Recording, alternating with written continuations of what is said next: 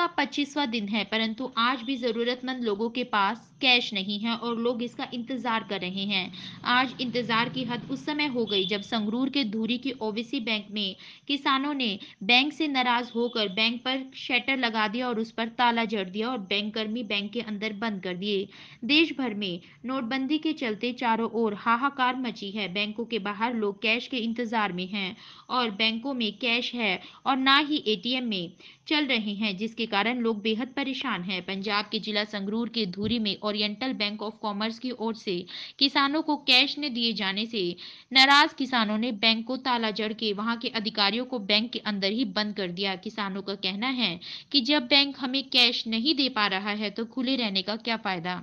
ਧੂਰੀ ਚ ਖਾਸ ਕਰਕੇ ਜਿਹੜਾ ਵੀ ਬੰਦਾ ਆਉਂਦਾ ਇੱਕ ਬੈਰਿੰਗ ਮੋੜ ਦਿੰਦੇ ਨੇ 2.5 ਲੱਖ ਰੁਪਇਆ ਵਿਆਹ ਵਾਲੇ ਨੂੰ ਕੀ ਦੇਣਾ 2.5 ਰੁਪਏ ਨਹੀਂ ਦਿੰਦੇ ਲੋਕਾਂ ਨਾਲ ਮਜ਼ਾਕ ਕੀਤਾ ਜਾਂਦਾ ਹੈ। ਅੱਛੇ ਦਿਨਾਂ ਦਾ ਇਹ ਹਾਲ ਹੈ ਨਰਿੰਦਰ ਮੋਦੀ ਨੂੰ ਲੋਕ ਇਹ ਚਾਹੁੰਦੇ ਨੇ ਜਿੱਥੇ ਮਿਲ ਕੇ ਮਿਲ ਜੇ ਫੜ ਕੇ ਕੁੱਟੀਏ ਇਹੋ ਜਿਹੇ ਪ੍ਰਧਾਨ ਮੰਤਰੀ ਨਾ ਹਿੰਦੁਸਤਾਨ ਚ ਅੱਜ ਤੱਕ ਆਇਆ ਨਾ ਕਦੇ ਆਉਣਾ ਹੈ। ਅੱਛੇ ਦਿਨ ਲਿਆਉਂਦਾ 15 ਲੱਖ ਕੀ ਜਮ੍ਹਾਂ ਕਰਾਉਣਾ ਸੀ ਜਿਹੜੀ ਆਪਣੀ ਰਕਮ ਹੈ ਉਹ ਵੀ ਲੈਣ ਨੂੰ ਲੋਕ ਤਰਸ ਰਹੇ ਨੇ ਜਵਾਬ ਦੇ ਜਵਾਬ ਜਵਾਬ ਕਹਿੰਦੇ ਇੱਕ ਤਾਂ ਹੈ ਹੀ ਨਹੀਂ ਕੈਸ਼ ਹੀ ਨਹੀਂ ਹੈਗਾ ਬੈਂਕ ਮੈਨੇਜਰ ਹੈਰਾਨ ਕਰਦਾ ਬੈਂਕ ਮੈਨੇਜਰ ਹਲਾਲ ਕਰਦਾ ਬਸ